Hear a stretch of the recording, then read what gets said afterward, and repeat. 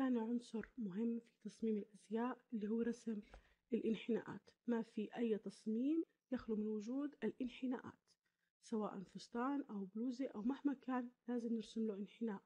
من دون الظل أو الانحناء تصميمك بيكون يعتبر زي رسم عادي رسم حدا غير محترف.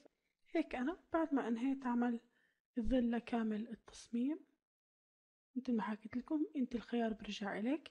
أنا استخدمت الظل هنا اللي هو من دون ما يكون في تدرج ظل عادي وأعطته شفافية. خلت الظل اللي بتدرج مع شفافية فقط للمناطق الداخلية للإنحناء.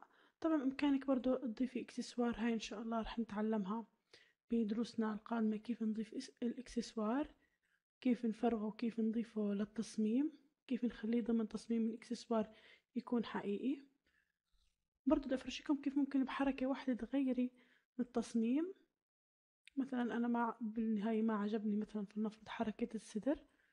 أنا بقدر أغير حركة الصدر بضغط عليها. بمسك النقطة هاي مثلا ممكن أعملها. قصة السويت هارت بتصير تقدر تغيري بتصميمك. بكل سهولة فقط من تحريك نقاط في التصميم.